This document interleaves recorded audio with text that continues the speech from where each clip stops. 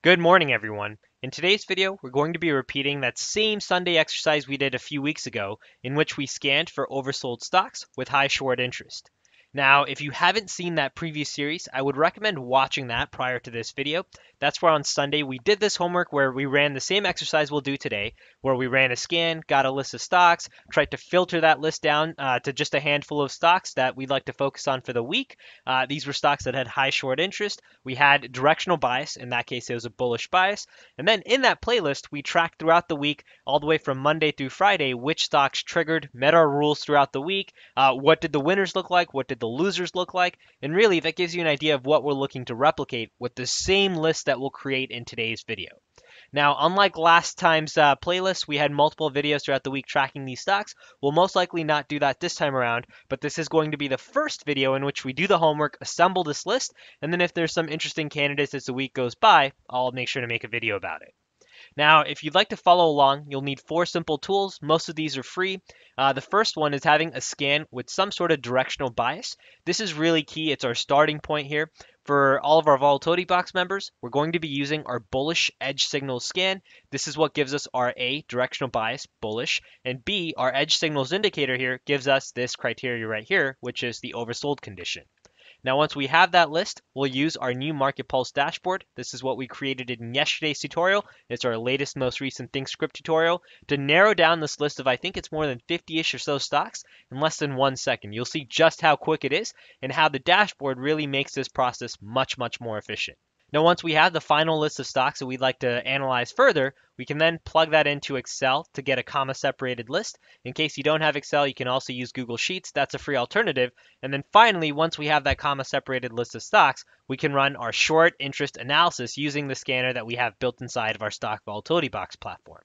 Now, the scanner is really a much faster alternative to analyzing large, large lists of stocks. You'll see what that looks like in uh, that part of the process when we get to it. But in case you don't have access to the stock volatility box platform, you can also use other alternatives such as TD Ameritrade to find the short interest uh, percentages for each stock you may be looking at on a one by one basis, which does add a little bit more time, but is a free alternative. All right, so let's get started here. I'll start first with running our bullish edge signal scan, and then we'll run through the entire process.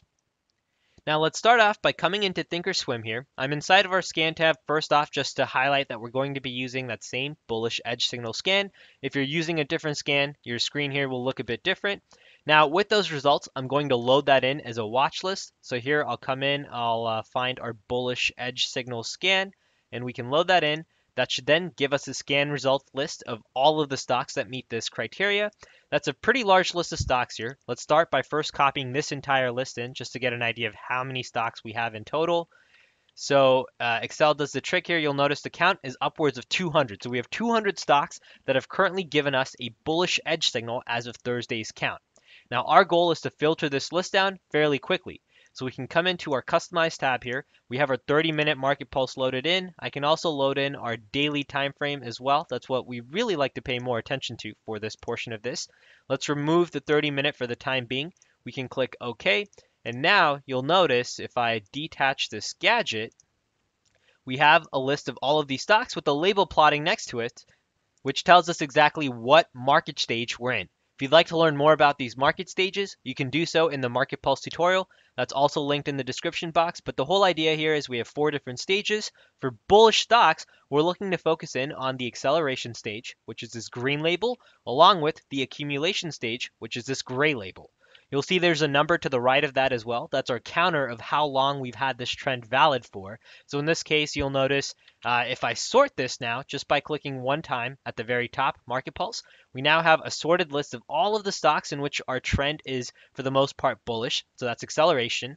You'll notice at the bottom of that list, we have uh, ORGO, which is the stock which currently has the greatest number of consecutive acceleration bars on the market pulse. That's 89 consecutive bars. Outside of that, you'll notice there's a lot of stocks in which the trend just changed. That's where we see a 1. Coming all the way down here, we can now start with the accumulation, come up to the top, copy just that list in, and if we paste that into Excel, you'll notice that took our list down from 200 all the way down to 115. So that's progress so far, but we'd like to keep narrowing down this list. So now if we create a comma separated list here, so I'll say equals A1, we'll apply this formula to all of the stocks that we have on this sheet. And that then gives us a list of comma separated stocks. Now with that list of stocks, we can come inside of our stock volatility box short interest scanner. You can access that by clicking short interest inside of the platform. And here, we'll just paste in this list of symbols and click search. You'll notice the table here at the bottom has adjusted. And now if I filter by short interest percentage, at the very top here, we have our list of stocks that we'd like to focus in on. These are stocks in which we have double digit short interest percentage numbers. So from that list of 200 initially down to 115, we're now down to 1, 2, 3, 4, 5, 6, 7, 8 stocks that we'd like to focus on for this upcoming week.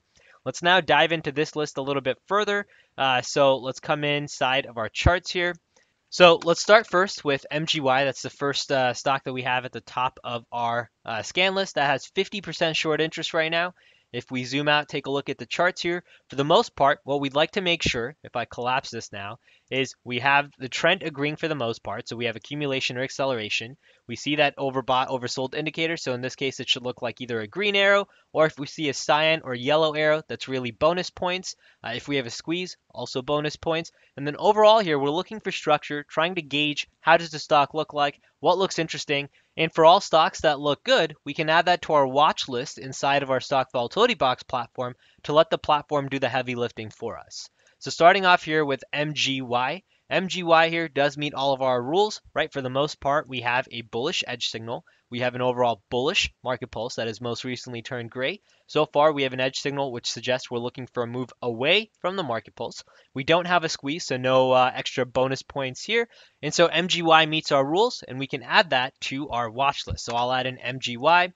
Now, next up on uh, our list here, we had uh, Dick's Sporting Goods. So we'll say DKS here. Come into Dick's as well. Dick's, we have the bonus points criteria met. We had two slingshot squeezes. We also have uh, a squeeze signal. We have our most recent edge signal as well. Overall, we're looking for the squeeze to fire long, and this too would be a good list of stocks to add to our overall list that we're looking for intraday uh, triggers on.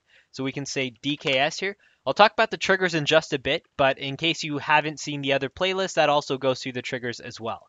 So here we have DKS added on. Now next up, we have Dick's Sporting Good. If I come into Dick's Sporting Good here, the trend here looks a little bit better. We do have the bonus point condition met. We have a squeeze signal most recently. We have an overall bullish market pulse. We have two slingshot squeezes.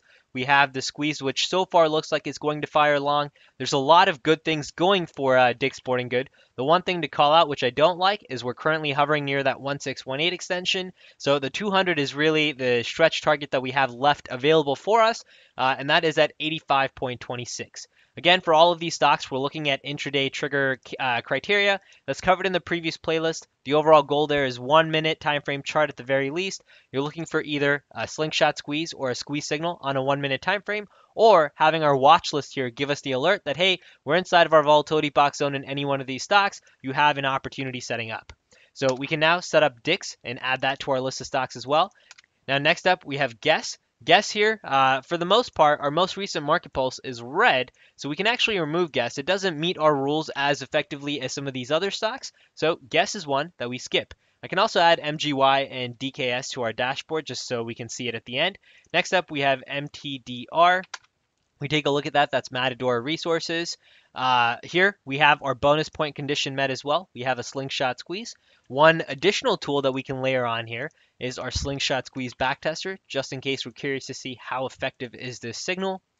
If I zoom out, the signal over the past five years, one winner, one loser. Average winner is 9.96%. That loser was negative 8%. So really, so far, we're at a draw. We can add this to our list, but it's nothing that is super exciting in terms of uh, some of the other stocks we've seen, like the LRCXs and the Microsofts.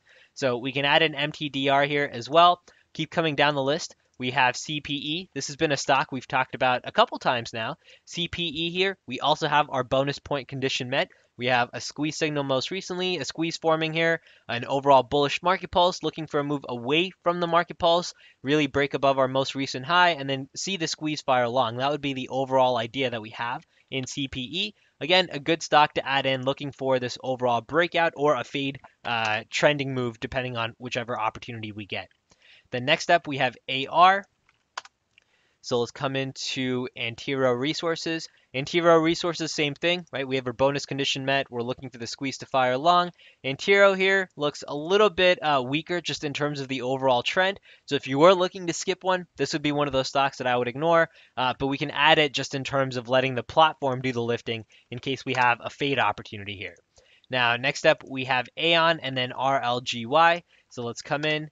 Uh, Aon, Aon here looks pretty solid. Our slingshot squeeze here also indicates five winners, zero losers. So far, we have an entry price better. So at the moment, Aon would be my most favorite uh, stocks out of the one that we've seen that I'd be looking at for this condition to be met. Any pullbacks to the market pulse, especially if that overlaps with our stock volatility box zone, that would be very ideal. If we don't get that happening, then we're looking for that uh, slingshot squeeze or squeeze signal on a one minute time frame to get in on a trending move.